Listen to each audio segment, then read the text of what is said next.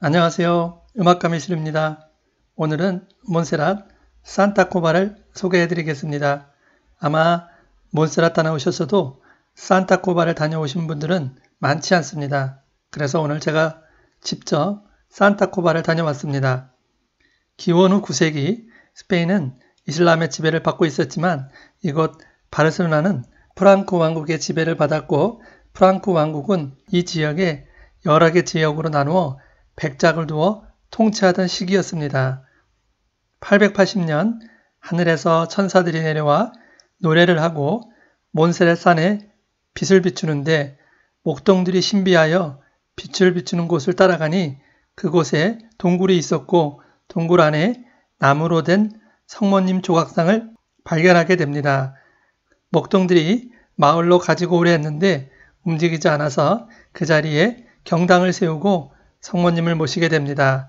그곳이 산타코바입니다. 산타는 거룩함, 성스러움을 의미하고 코바는 카탈루냐 언어로 동굴을 뜻합니다. 산타코바는 성스러운 동굴을 의미합니다.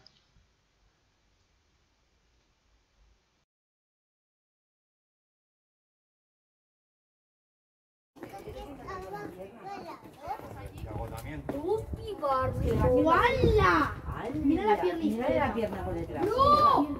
¡Es que- ¡Oh! Papá, Amador, Amador, Amador, para, eh, que quedan dos horas. para, para, se te sube, se te sube el. Se le sube el gemelo, eh. ¿Quién le vibra? Te está haciendo así, eh. No, no, pero Sí, se, ya, ya. se te va a De subir. agotamiento. Pero esto porque ahora está haciendo. Ahora aquí que estaba un poco más recto, espero que.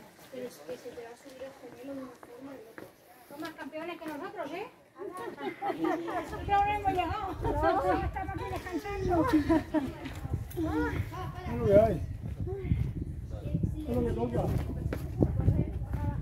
Porque si corro como llevo la energía, no tengo que hacer tantas vueltas. Sí, sí.